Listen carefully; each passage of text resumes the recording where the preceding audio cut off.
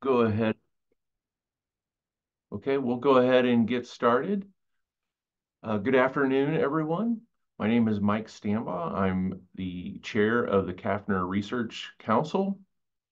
And uh, today I'm happy to fill in for uh, Dean Joes, who uh, typically would, would host this uh, webinar. But today we have a webinar by Dr. Jeffrey Wood here within the School of Natural Resources within CAFNR.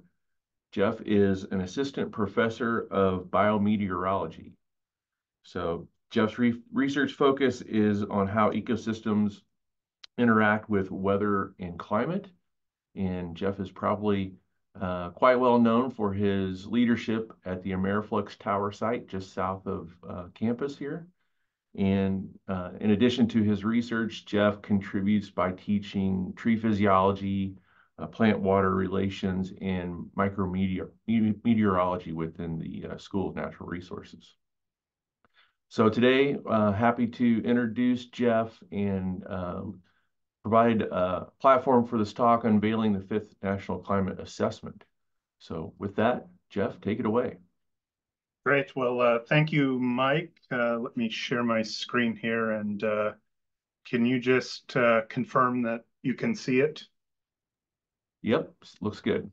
Great.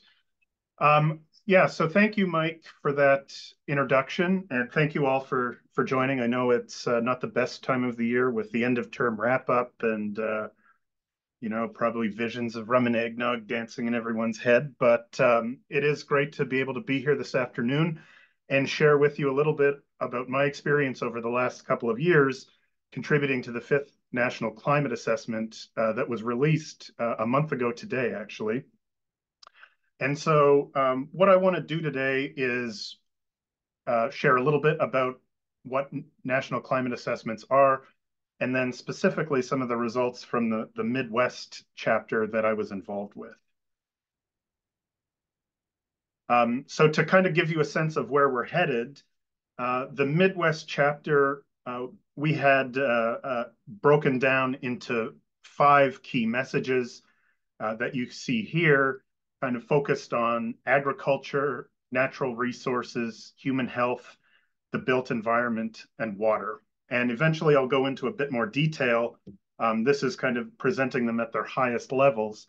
Um, but before I do that, I'll, I kind of want to give you more uh, information about how these assessments are developed. so I framed the this seminar around three questions. What are national climate assessments or NCAs? And what is the NCA process? Uh, what did we find in NCA 5 for the Midwest? Um, so if I say NCA 5, I mean specifically the fifth assessment. Uh, if I say NCA, I I'm referring to the process in general. Uh, and then I'll end off with a few comments on how one might get involved in a future NCA. Um, so to start off with some background, uh, the mandate and scope of national climate assessments is actually defined by Congress. Um, and so there are legislative origins uh, to national climate assessments. Um, this these were defined in the Global Change Research Act of 1990. And so uh, the, the, Global Change Research Act charges that every four years, uh, a group called the USGCRP shall prepare and submit to the President and Congress these national climate assessments. And these NCAs should analyze current trends and project trends uh, to look at how um, global change is occurring or, or going to happen um, in the future. And so it's not just a physical science assessment of climate uh, change. Um, there's also an aspect of assessing the impacts on the natural environment, as well as many different sectors uh, of society. And so these are very broad in scope. I just want to get that out very clearly uh, at the very beginning here. Um, and so even at the level of a, of a regional chapter, this is the case uh, as well. So in terms of NCA basics, um, what are we doing and what is the report presenting? Well, we're evaluating um, scientific and technical inputs from a broad range of sources, Uh, this involves synthesizing everything from individual studies um, to data and models, and then applying our best expert judgment to characterize the certainty of the assessment, um, as well as thinking about assessing a range of potential impacts. And, and so, for example, uh, thinking about a range of possible future outcomes uh, depending on different scenarios uh, with regards to, say, greenhouse gas emissions. Uh, another really important aspect of how this all works is developing a consensus-based view of the state of the science. And this is done at the chapter level. And so the, the chapter teams have to come to this consensus and everybody has to be in agreement on, on what we produce. Another important point about NCAs is that we have to write them to be policy relevant, not policy prescriptive. A subtle difference, but we are just meant to uh, provide an, an, assessment on the state of the science and not provide a prescriptive list of, of what should be done. We're producing a document to give to the policy uh, makers and decision makers uh, to help them uh, do their job. Uh, it does have to be compliant not only with the Global Change Research Act, but also other federal laws and policy. And uh, thankfully, the U.S. Global Change Research Program provides the, the chapter team with a lot of support to make sure that we don't uh, run afoul uh, with uh, any of these um, uh, laws and policies. Uh, finally, um, there is an extensive review process and a lot of opportunity for public engagement. So as a chapter team, we aren't working in a vacuum. Um, our material is reviewed many, many times, um, internally and externally and we engage with the public in different ways. And just to flesh that out a little bit, uh, on this slide, I've kind of broken out how content contributors and review all intersect with public engagement. Uh, so if we look on the left and think about how content um, is, uh, is developed with public engagement, there is an initial call for public input on scientific and technical information.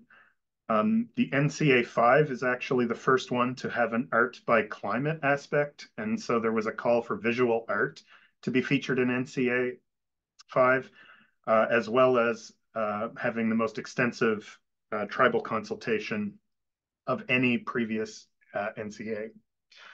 Um, there's also public calls for the author and chapter leads, as well as review editors.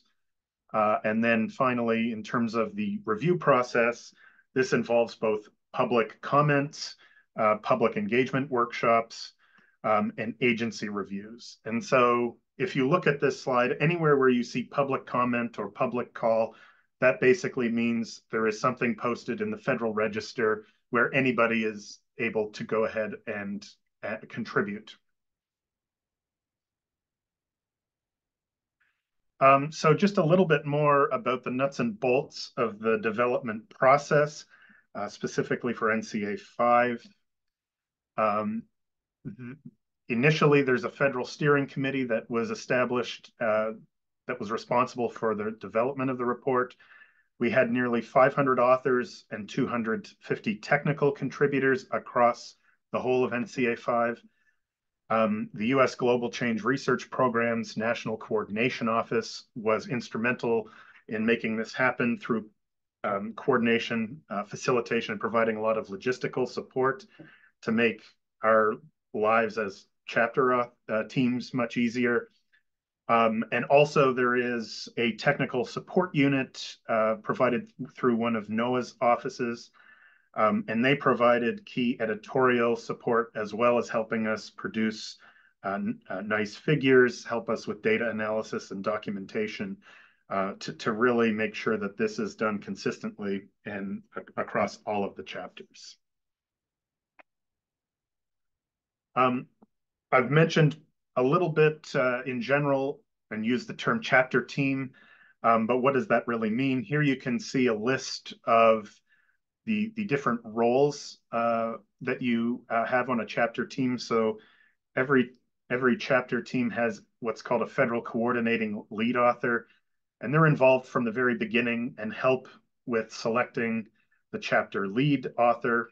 And then once we get going, they play a key role in liaising with the other chapters in the report.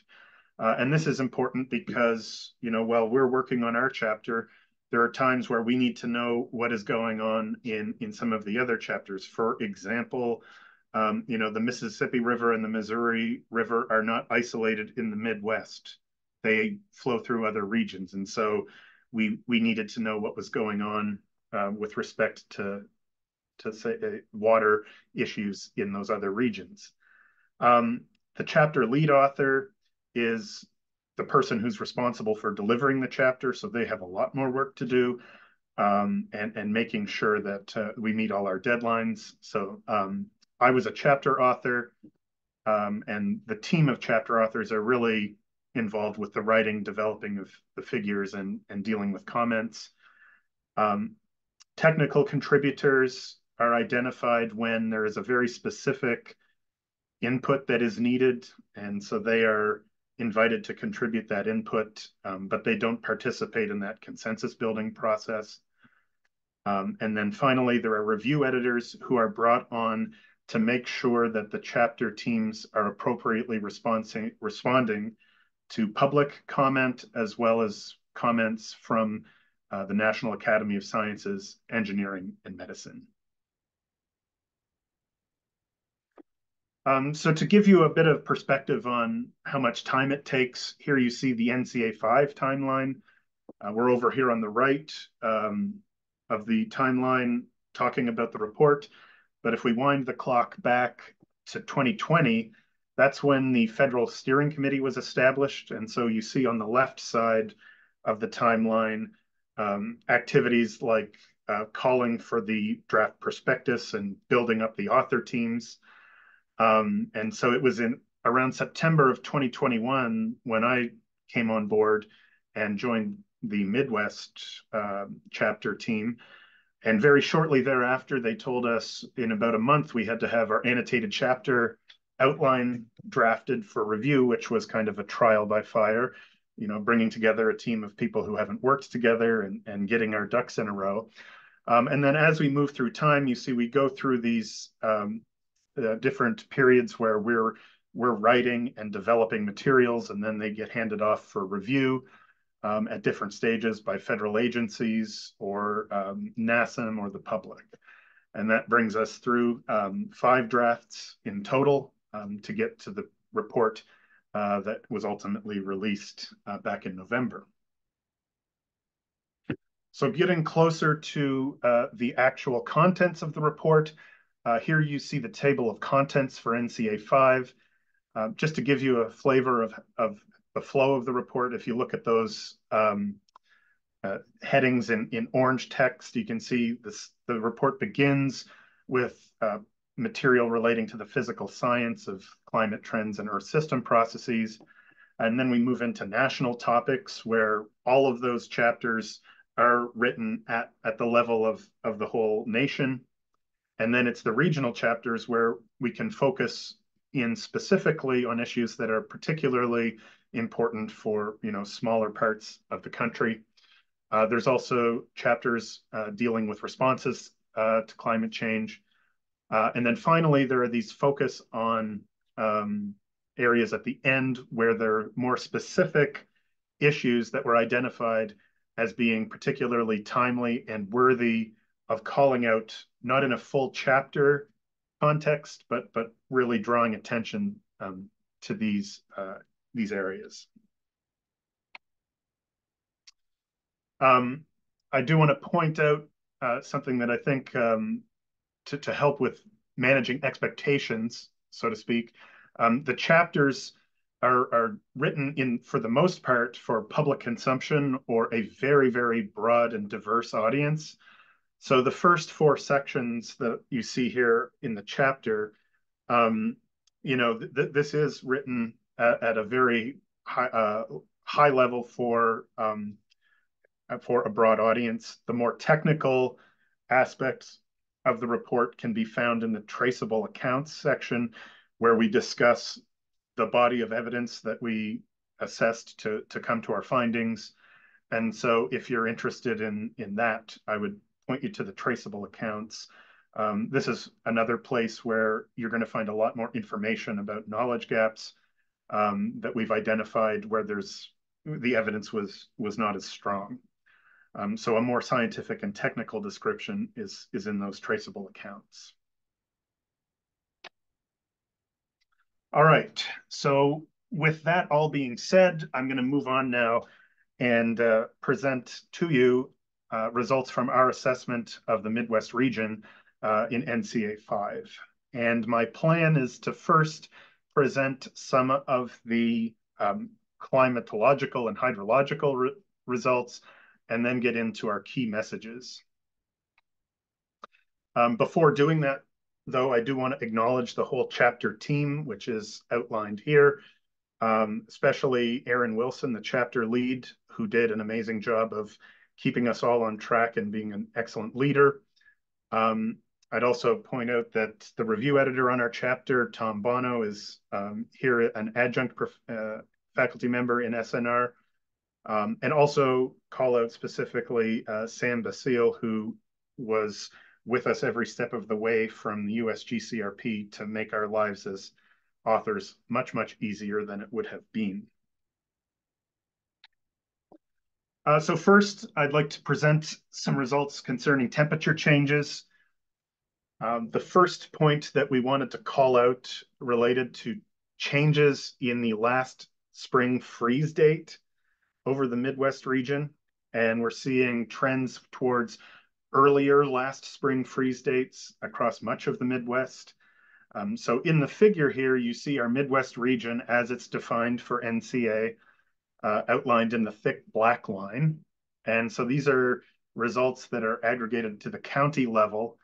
And so essentially, if you see warm colors, the yellows, the oranges, the dark oranges, that, that is indicative of earlier last spring freeze dates. Um, and spring freeze being defined as um, the, the daily minimum temperature being below 28 degrees Fahrenheit. And so these are trends that are um, calculated over the time period 1950 through 2021. And so you see this consistent pattern of, of trends in towards earlier last spring freeze dates across most of the region. And particularly actually in southern Missouri, there's some areas in the Ozarks where, uh, where you see a, a particularly strong trend there.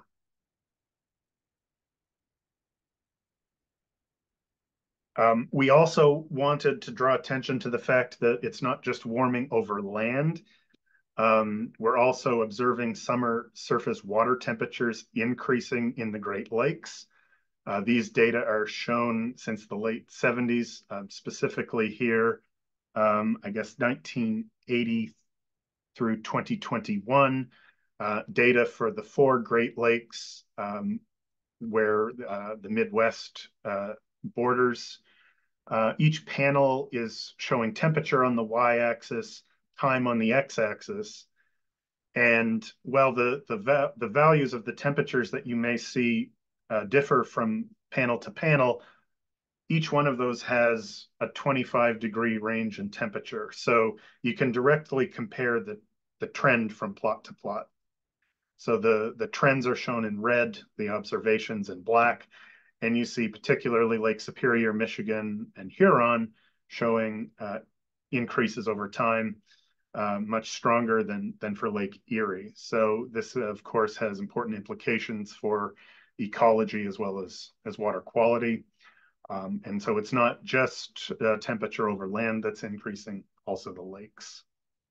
Um, we also um, reported on hydrologic changes in the Midwest, and so I'll share a couple of key results here.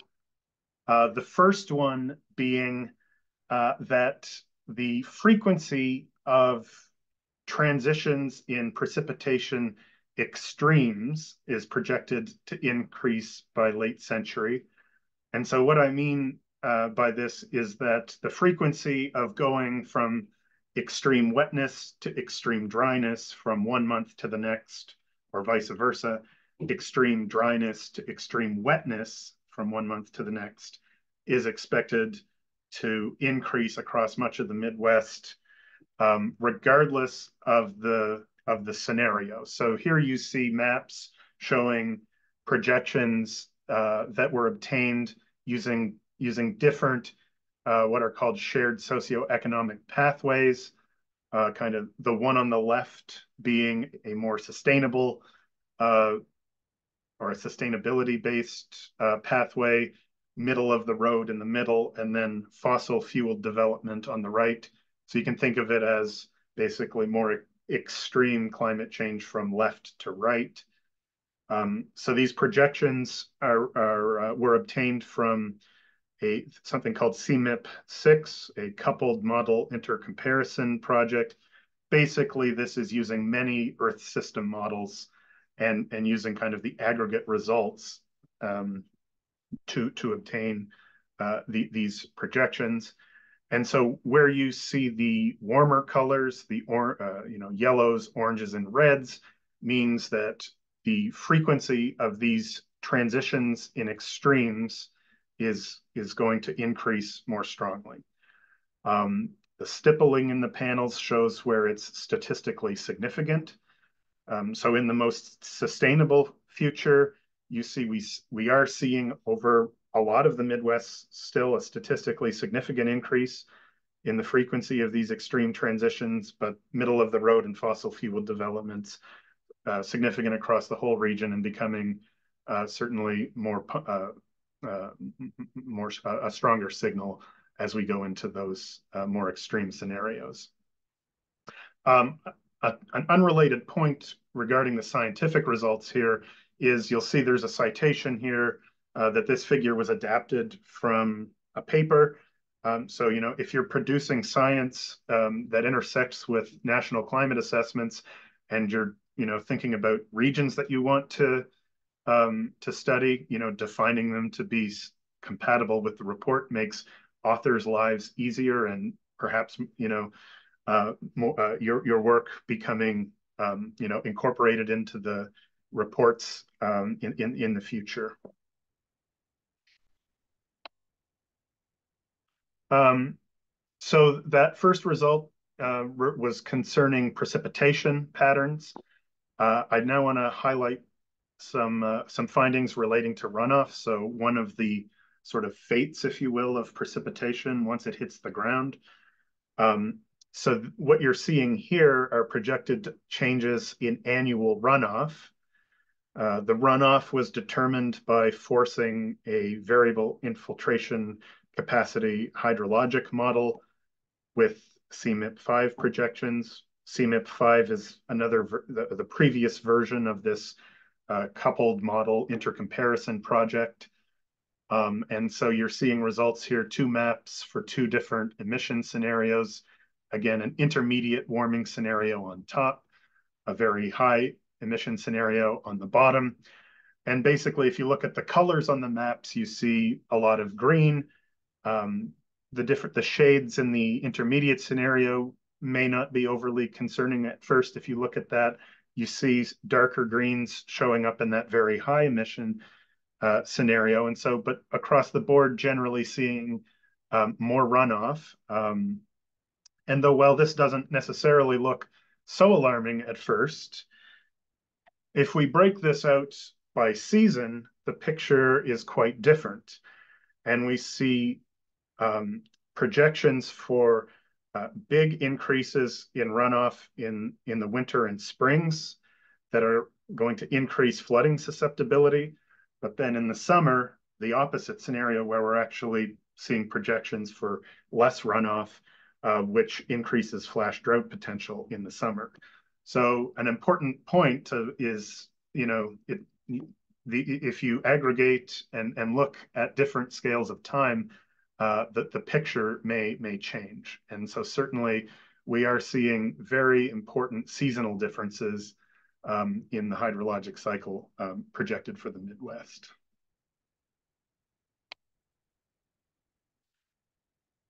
Okay, so at this point, I want to transition now and highlight our key messages for the Midwest chapter. Um, a point of order before I do that. Uh, you will see in the next few slides um, reference to confidence statements and likelihood statements. These are two different things.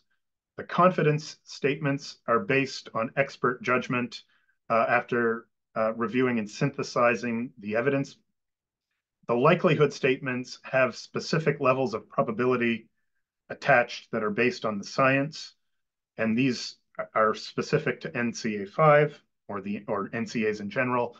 Um, and rarely would expert judgment uh, come into play in determining the likelihood statements.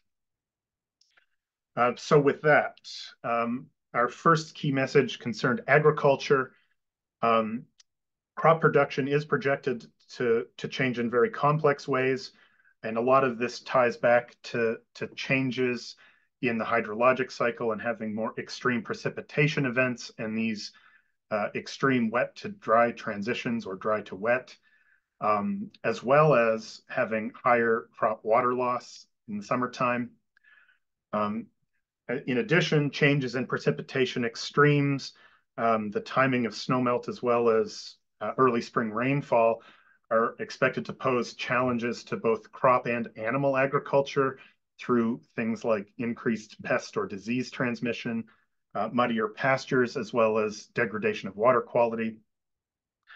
And then climate smart agriculture, however, and, and other adaptation techniques provide potential pathways towards um, environmental and economic sustainability.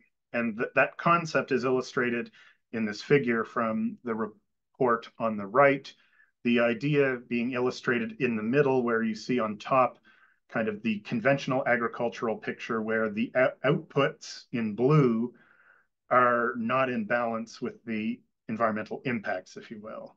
Uh, whereas with climate smart approaches, we're trying to have better balance in the agricultural outputs and environmental impacts. And you can see uh, a range of, of sort of points illustrated around the, uh, the outside there. I'm sure many people here are familiar with, with a lot of, of climate smart um, uh, uh practices and, and work that's going on in CAFNR uh, as we speak. Uh, with respect to natural resources, uh, we know ecosystems have been affected by changes in extreme weather and other climate-related changes, and these are causing negative impacts on a wide range of animal and plant species. Um, a lot of this ties back to increases in flooding and drought that are expected to further alter aquatic ecosystems. Um, and terrestrial ecosystems are also being reshaped by uh, rising temperatures and decreases in snow and ice cover, um, particularly in the northern parts of the Midwest. And uh, these, uh, these are leading to losses of ecosystem services that are undermining um, human well-being through losses of economic, cultural, and health benefits. Um, there, there are examples of communities adapting culturally and uh, adapting landscape management practices to help with preserving and protecting ecosystems and the services they provide. And as an example of kind of a holistic kind of um, land, uh, landscape management um, uh, strategy for adapting to flood and drought risk, here you see on the top on the right a landscape with a range of practices across the watershed um, that that could be employed to help slow the flow, if you will, across that landscape. So the idea is that without management, if you look on the kind of middle on the uh, uh of the uh, image, um, the the water systems are subject to uh, a higher degree of fluctuation, and you can go quickly from a period with low water stress to to a flood flooding situation because water moves very quickly throughout the landscape. Um, but with um, strategic deployment of management across the, the landscape, um, adaptation can reduce these risks and, and keep the flow through the system uh, more moderate through time. Um, with respect to human health, uh, we assess that uh, climate change has had wide-ranging effects on lives and livelihoods. um, and has affected healthcare systems and community cohesion. Um, and and uh, these are diverse impacts that will require um, integrative and integrate, into, innovative responses and a lot of collaboration between many sectors of society um, to address them. Um, also, because of historical and systemic biases, uh, communities of color are especially vulnerable to the negative impacts of, of climate change and mitigation and adaptation, um, for example, using uh, expanded green infrastructure or early uh, heat health warning systems, uh, have potential to improve individual and community health and can be uh, particularly uh, um, impactful when developed in collaboration with affected communities. Um, something else to call out um, with respect to human health is even if we don't have a lot of uh, wildfire in the Midwest, the air moves across boundaries and there are increasingly frequent incidents of poor, poor air quality associated with fire. Um, this was actually a, a, satellite image taken before this past summer um, showing smoke coming down from Canada and, and affecting um, um, uh, states in the Midwest. Um, with respect to the built environment, um, increases in temperature and extreme precipitation are already challenging the aging infrastructure in the Midwest and are expected to, to impair surface transportation, uh, water navigation, as well as the electrical grid. Um, changes in the timing and intensity of rainfall are expected to disrupt transportation along our major river networks um, and increase chronic flooding.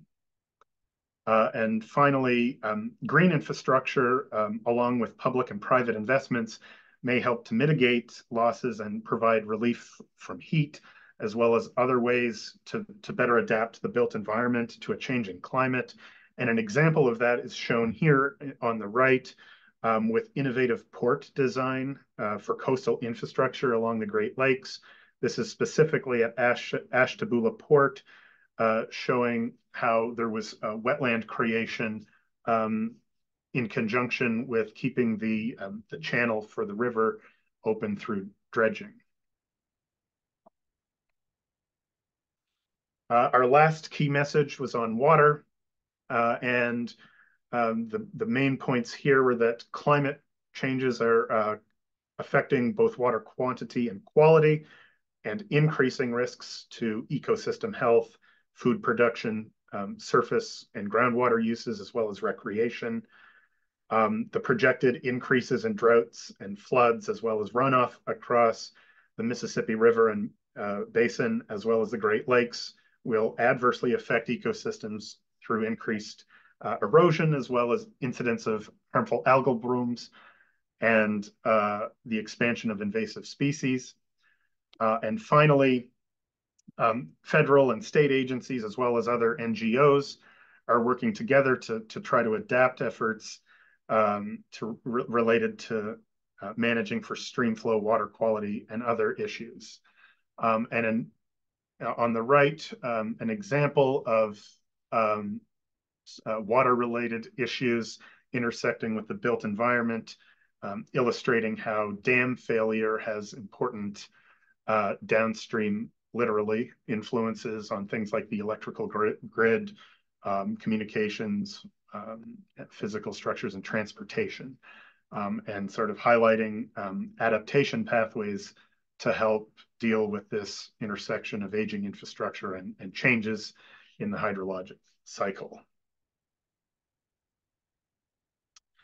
And so uh, with that, that brings me to the end of kind of the the very high level overview. I hope I haven't disappointed too many people by by keeping it at that broad high level, but I wanted to touch on the breadth of our Midwestern report. Um, you can always go and read the chapter uh, yourself, and I'm happy to to speak uh, to people individually, um, you know, in more detail about the findings. Um, but I thought I'd end off with a few comments on how to get involved um, in future NCAs. Um, but before I do that, I would draw your attention to the fact that there is uh, right now the initial planning stages for the first national nature assessment. Uh, from what I've seen, this is going to be very similar to national climate assessments. And so here you see the calls in the Federal Register for request for public nominations of authors and technical inputs for the assessment, as well as framing the, the National Nature Assessment. And so essentially very similar um, calls to these would be uh, probably coming as the, the next NCA is being spun up. But if you're more interested in participating in the nature assessment, you may want to check out these opportunities. Um, as far as getting involved in the next NCA, I would just say, remember, these are more than climatological analyses, and so broad expertise is required. Um, so, so don't be shy if if uh, you're not a climatologist or atmospheric scientist. Uh, you can certainly nominate yourself to be an author once the calls are out, um, as well as contribute to public review. Um, so to keep, keep your eyes peeled um, at the USGCRP website, uh, as well as um, calls in the Federal Register. And again, please, if you're interested, please reach out. I'm happy to chat with you more about my experience and and you know how much time is involved if if you're um, if you are interested. And with that, um, I'm just showing you here the uh, ways to to connect with USGCRP and find the report. And uh, I'll leave up uh, this uh, slide for questions showing a couple of the um, art uh, artwork submissions uh, that were included um, in NCA 5. Okay. I should have mentioned at the beginning of the webinar that uh, we'd ask that you type any questions into the chat box. So there is a chat box that you can access at the toolbar. Go ahead and type any questions in there and we'll get through them. Um, and I'll, I'll kick it off with a quick question here, Jeff. Uh, you know, it's probably not very often that we get the chance to um, do a, a, big synthesis and then try to come to some consensus over over things like climate change impacts. And can you talk a little bit more about like that process of coming to consensus and how that went, whether there were challenges or if it was just a smooth sailing every time?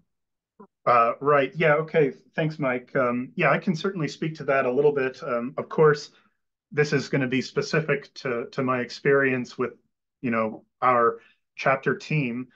Um, overall, in general, I would say we had a really great uh, team as far as people working well together um, and and and getting along, which is I think important to for that to be easy to do. Also, um, I, I again would say that our chapter lead author, Aaron Wilson, uh, was an exceptional leader. And, and I think a lot of the reason perhaps that we had such an easy time was because of his leadership on making sure that everyone's opinions was heard were, were heard. Um, um, but you know, um, the the way I guess it it worked uh, it, more mechanically was you know at the beginning at that drafting up of the annotated outline um, we we naturally kind of filtered into subgroups. And so a lot of the time we would be working closely with a subgroup say for natural resources which is what what i was involved with. And um, yeah it, it was a lot of just discussion um, people providing their thoughts and inputs and kind of working it around to to really distill what what we thought were the most important um, uh, topics. And uh, I think having the the sort of um, expectation set for people being open-minded and and listening to what everyone had to say um, made it a, a, a process that worked very well. And it was not difficult in our my experience with this chapter. But i i don't know if everybody would say the same thing in all the other chapters Did part uh, of the, uh, sorry, I don't have any any uh, stories of people yelling and oh, screaming and banging what, on tables. did part of that consensus include the likeliness uh, scenarios? Like, um, yeah, that I mean, so um, you know, the key messages were really uh, and the writing. Every uh, those subgroups contributed the text, and it was all then synthesized. And we it, there was the requirement that we had meetings where the whole team had to be there, and and we went through every key message, and everybody had to agree on on that calibrated language. Um, we also in in coming to our consensus at the chapter level, we we did look around at what other chapters were producing to make sure that uh, you know we that there was we, we, didn't seem that we were too different I, I, guess in terms of being way more certain about everything or way less certain than ever just to, just to get a sense of kind of where other people were um but yeah you know yeah Okay. Hopefully that's helpful. Yeah. Again, uh, feel free to type any questions into the chat box. Um, nothing is coming in currently. There's Q and A. Let's see. You see a Q and A? Uh, yes. Yes, we oh, have one. We okay. have a couple questions okay, in the Q and A. All right, let me read one off here from Rob Jacobson. Are the economics of mitigation addressed in any of the chapters? Uh, yes, uh, there is an economics chapter. I believe this is the first time there was a, an economics chapter explicitly in NCA 5, in, in an NCA. Let me go back. Um, uh, yeah, chapter 19, uh, uh, there's an economics chapter and also uh, the social systems and justice chapter is, is also new for NCA 5. All right, so we'll look into those sections for that kind of information. Uh, next question is from uh, Craig Paukert. What advice do you have to someone that may submit a nomination for similar assessments? That is, what skills do you think were most needed other than your technical expertise of the topic? Mm. Oh, that's a good question. Um, I think um, I think it, it is important to uh, be open-minded and and have also kind of be thinking about things at different scales. Um, being able to you know work in a very diverse team um, i think patience is probably a virtue in in something like this especially if you recall back to the slide i mentioned about following all of the policies. Um, i know i'm i'm pretty sure i was the, the academics were getting frustrated about uh, you know what we the uh, uh, the the logistics of of the uh, technology that we were forced to use because of complying with with statutes um, and mandates. Um, so so I mean, and, and also I think um, being being just uh, or organized and uh, being able to stay on top of uh, of the schedule um, and, and, being uh, not, uh, I guess, um, this was a, something I learned very quickly was um, the uh, the schedule is very they were very unbending with their schedule, and so um, I, I, think uh, being able to, to to deal with with that is was also pretty important. All right. Uh, next question from William Folk. What are the prospects this will influence producers and legislators? Uh, we did not assess that. um, but, but I could comment, though, that uh, I believe um, uh, uh, this is my first time in uh, being involved with an NCA. They are doing a lot, they have a lot more expectation that authors will be out there uh, helping to roll out the report and engaging and get get the news out, as it were, um, this time around. And I think with the um, increased public engagement in certain areas, there's a bigger emphasis on really getting the word out um, across broad audiences. Um, and so I would hope that that could help with um, making the uh, report more influential. Okay. And then Zach Leasor asks, as your team prepares to pass the baton for the next assessment, are there any national topics, ag, water, built environment, et cetera, that you think will be a focus in the next assessment? Spe specific, specifically for the Midwest? Yeah, okay. Um, I mean, I, I think uh, in, in, in many ways, um, there is kind of some ma major overarching issues that will continue to be to, to require attention and certainly water and agriculture are are going to be very important in the Midwest.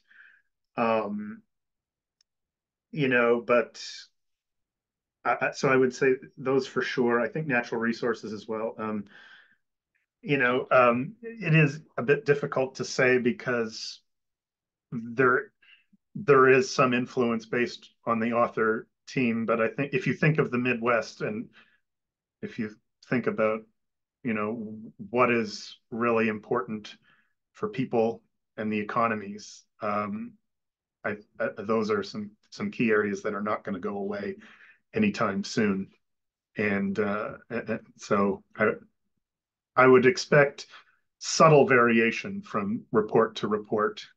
Although, um, for example, uh, we we had a natural resources section that was much broader this time around, um, whereas in the previous assessment there was a forestry specific key message, and we broadened it to to natural resources this time around because of how much detail had been provided in that previous assessment.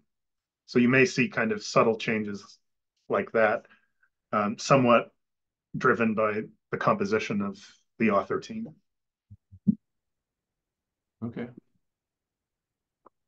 All right. Well, it looks like we've gotten through all the questions. Um, with that, thank you again for providing the webinar today.